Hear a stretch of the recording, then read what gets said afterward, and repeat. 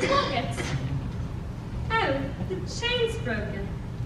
Don't you remember? I'll stay till the chain breaks. There's a note, too. What does it say?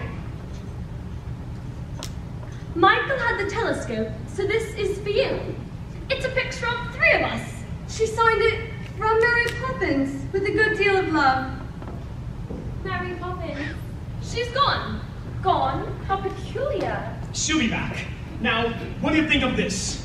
It's the best I've ever seen. Do you think we could fly it together? Oh, Daddy! Mary Poppins won't be coming back. She's gone forever. My dear, how could you possibly know such a thing? Because we don't need her. Not anymore. And other families will.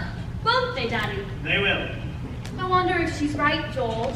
We really could do without a nanny from now on. What do you think? I think you better come and dance with me. George, this is serious.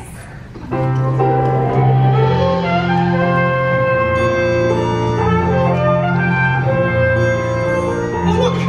Isn't shooting star? You can borrow my telescope. I was right! We saw the children! My dearest love. We won't forget you,